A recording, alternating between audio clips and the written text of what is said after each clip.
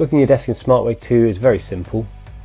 We select the desk booking option from the top right and we can select a date and time and location and even a zone if we wish to for our desk booking.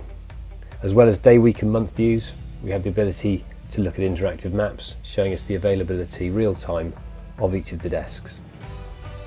I can switch between floors very easily of buildings, zoom in and out and navigate around.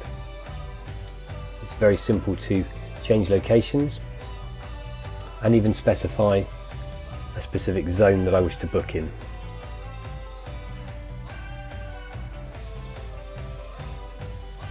I can select a desk from the map and in this particular example we've limited the system to allow morning and afternoon slots only. In this example I'm going to book all day. If I have the rights to do so I can book desks on behalf of other people and importantly the system allows me to show my time as free in my Outlook calendar. Saving the booking enters it into the system with information in the right hand panel.